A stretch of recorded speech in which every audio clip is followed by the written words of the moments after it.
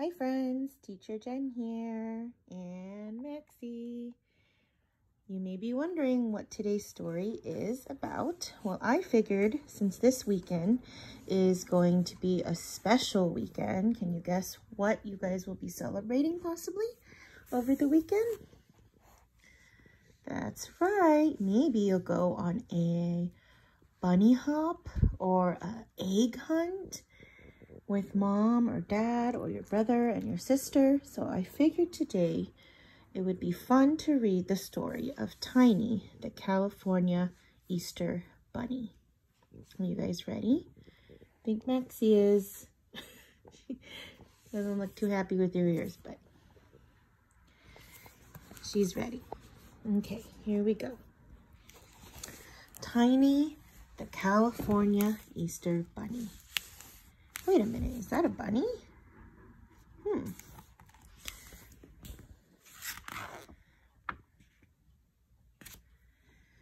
Tiny the California Easter Bunny.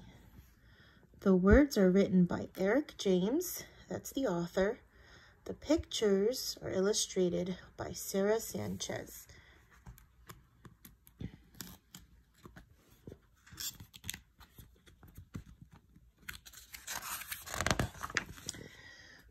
One bright Easter morning, while out for a jog, Tiny hears, Help! I am stuck in a log.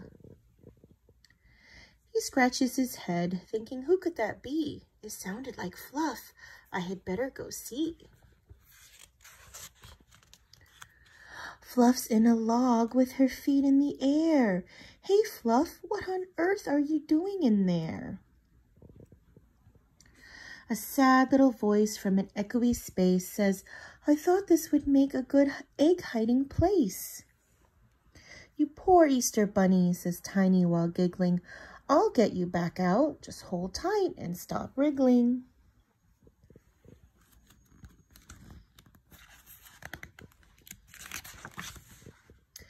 Tiny pulls hard, using all of his might. He tries and he tries, but his friend is stuck tight. My eggs, sighs poor Fluff. Who'll deliver them now? I'll do it, says Tiny. Fluff laughs and asks how.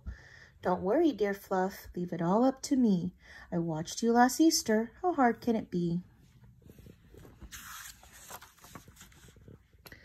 This bunny looks funny. Yes, something is wrong. His feet are too big, and his nose is too long.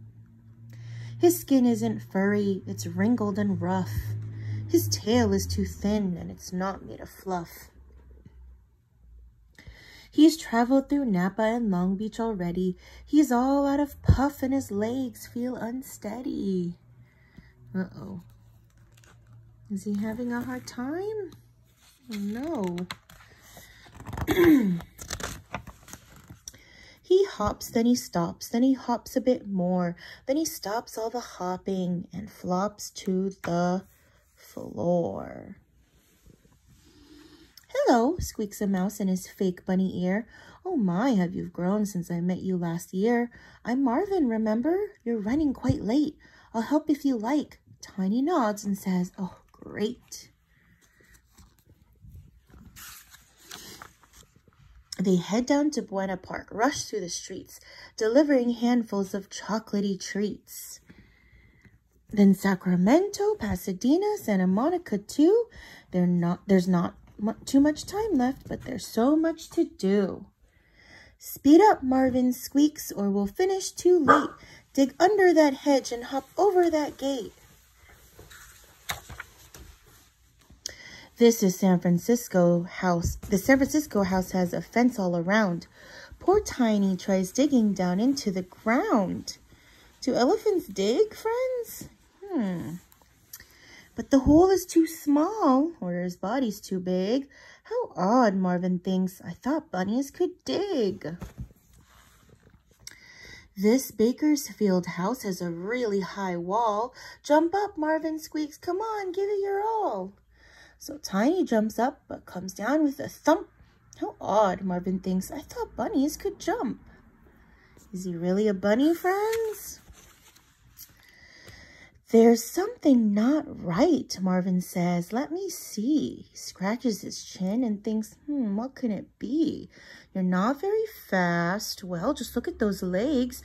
You're not very careful. You've cracked half the eggs. You do not have whiskers. You, you're no good at hopping. Those ears look quite fake, and there's that's no bunny dropping. Aha, now I've got it. He jumps to his toes. No bunny is born with a trunk for a nose. Tiny starts crying. He wails, yes, it's true. I thought I could do the things real bunnies do.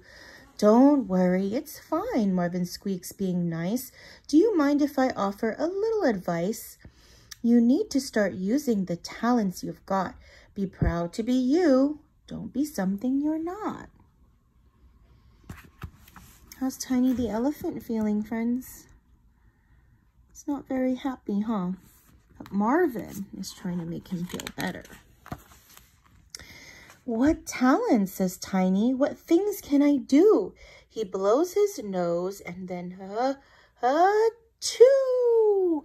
Eureka, squeaks Marvin from high in a tree. That wonderful big chunky nose is the key. It's strong and it's long. It can pick things up too. It's perfect for seeing this Easter job through. We'll put it to work just as soon as we can. Let's head on to Fresno and test out this plan.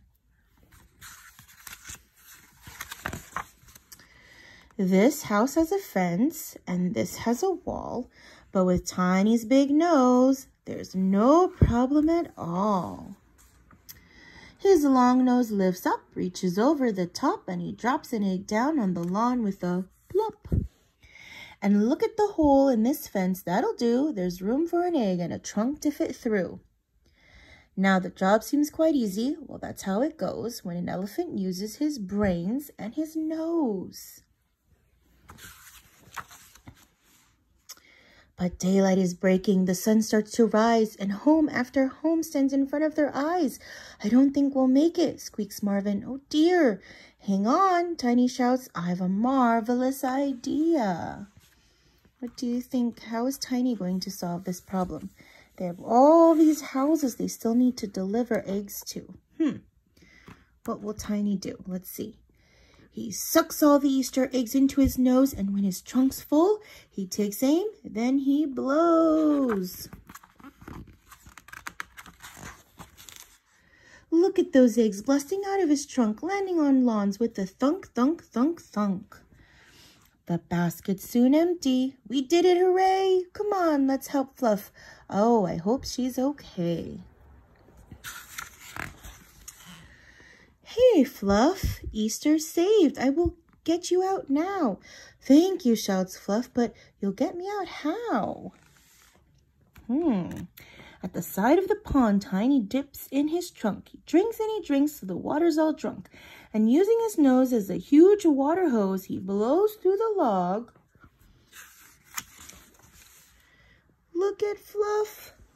Up she goes. She comes out of the log finally. Happy Easter, California. Happy Bunny Hop, friends. And you guys can see how many Easter eggs are in this picture. You guys can take a look. Hmm. Can you see it? There are five. Let's count them. One, two, See that one hiding behind the leaf. Three, four. The squirrel has that one. And last one, five. The birdie has it. And that was the story of Tiny, the California Easter Bunny. And I think my doggy decided she didn't want to be the bunny either. that she was a doggy, just like Tiny realized he's an elephant. And he had really great powers too by using his trunk to deliver the eggs. I hope you guys enjoyed that story. Um, and I hope that you get to have a bunny hop of your own at home. Uh, along with the YouTube video, I've posted some links of how to have a glow-in-the-dark bunny hunt or egg hunt uh, with your family at home. So I hope you